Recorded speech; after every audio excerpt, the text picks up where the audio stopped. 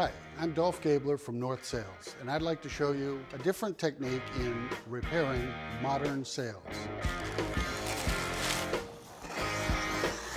Everything that you learned about traditional sailmaking in repairs and, and fixing things is based on the 1800s of a thing called a sewing machine that takes a thread and a needle and punctures holes and pulls thread through. Today's fibers and fabrics that we're using in sailmaking are both the gold Kevlar and the black carbon fiber. We need a new way of repairing sails. And the sewing machine is sadly uh, going out its usable uh, life. This is the modern sewing machine.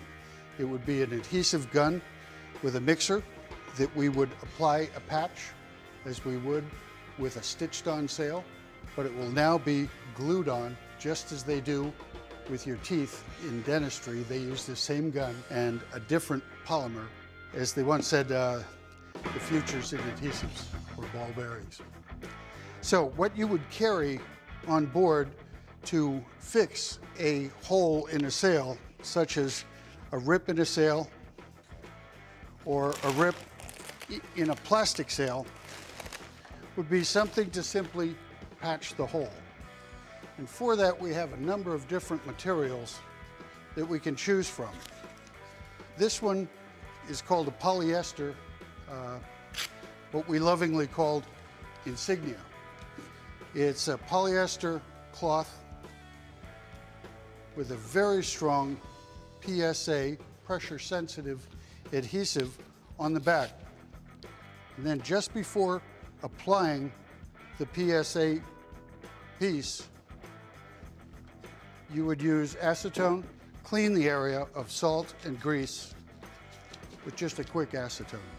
Now the area is ready for the exposed PSA glue that's on the polyester. And although it doesn't match in color, that's a very practical repair that it's simply patching the hole itself. It's not a structural repair, it's just a quick fix. The last thing about the PSA that I mentioned, pressure sensitive, means that you need pressure to rub down the area and set the glue. Now that patch, it could go on for the rest of its life. what this material is, is the same material that this sail is made of.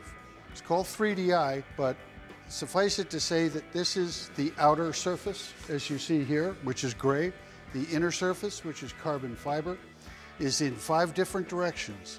Right now, I'm gonna choose that as my little temporary patch. Gonna hold it in place. And this can be done on board during a storm on the floor of the boat.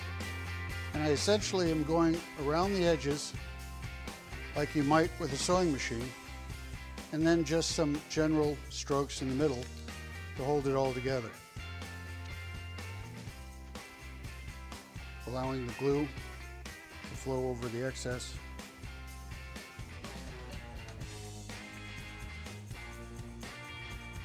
Pick up the excess glue. This I find the quickest and easiest kid sand and it is holding and molding to the shape of the patch and it holds it down. I wait 12 hours and it's ready to remove this 24 until it's totally set and you can go and pressure it up. And that's how you fix a hole in a modern sail.